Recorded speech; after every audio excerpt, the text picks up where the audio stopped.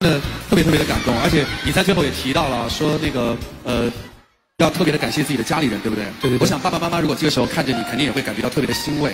其实说实话，一直以来，小凯是一个特别保护自己父母的人，从来不让爸爸妈妈怎么样出现在镜头前啊什么的。但其实，在你成年礼这样一个非常特殊的时刻，他们肯定，哎呀，不是那种套路了，别叫别叫，干嘛？爸妈从里面走出来是不是？其实我想，他们一定会在一个很特别的角落，默默的关注着你。当然，他们也嘱托我送来了一份惊喜，我们一起来看一下。亲爱的儿子，今天是你十八岁生日，也是走向成年的开始。十八年前的今天，是你来到人世的第一天。妈妈第一眼见到你的时候，你一双精灵般的眼睛东张西望。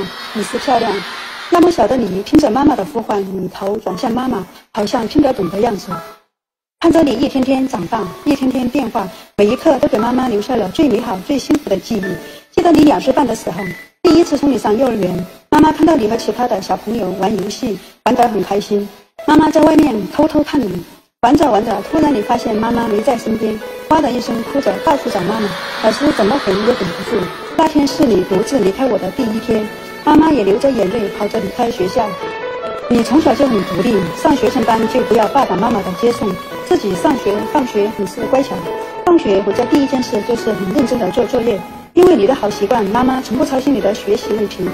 在别人眼里，你也许是幸运的，幸运的是你从小得到上天的眷顾，年少成名。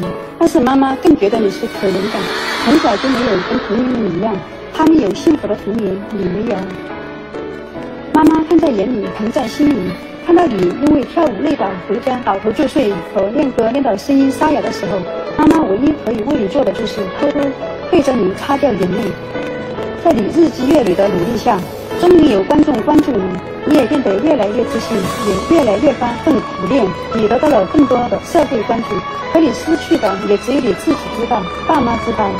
儿子，作为你的爸爸妈妈，我们很高兴你终于长大成人，同时也非常的不舍。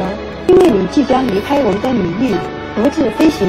希望你成为一个对社会有用的人，希望你可以拥有一个无忧的人生。我最亲爱的儿子，希望你记住累了、倦了，家里永远为你亮着灯、热着饭。爸爸妈妈祝你十八岁生日快乐，平安幸福。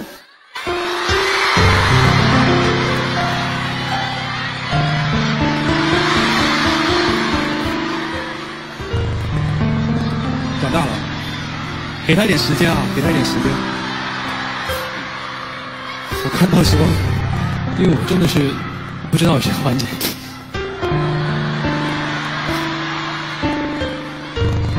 其实我从小跟我妈妈沟通特别少，我跟我妈妈也是，就是经常在家里边就是见一面也说不了几句话那种。